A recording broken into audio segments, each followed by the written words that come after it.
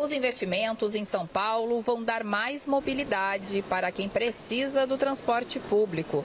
O ministro das Cidades anunciou a expansão da linha verde do metrô, com mais 14 quilômetros para o trecho Penha-Guarulhos e da linha 5 Lilás. Essa linha, pessoal, vai ter 1,7 quilômetros.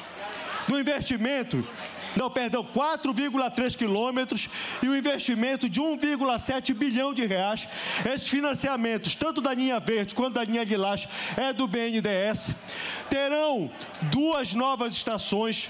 Vai ser a estação do Jardim Ângela aqui e lá do Comendador Santana. Serão duas novas estações para que essa mobilidade aqui possa melhorar. Trazer o metrô para cá é uma necessidade de dar conforto a vocês, de fazer com que um companheiro ou companheira que trabalha não perca três horas na fila do ônibus, que esse companheiro possa dedicar mais tempo para cuidar da família, para cuidar dos filhos e a mãe, sobretudo a mãe.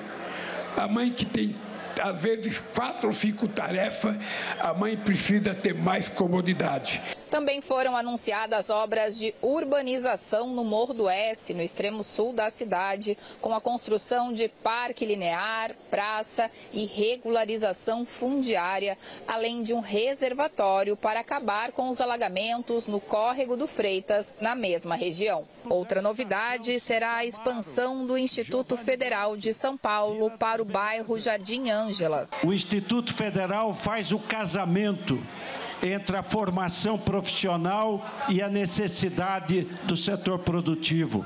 Por isso, o presidente Lula fará 100 institutos federais para que os jovens possam ter emprego, salário digno e construir a sua família.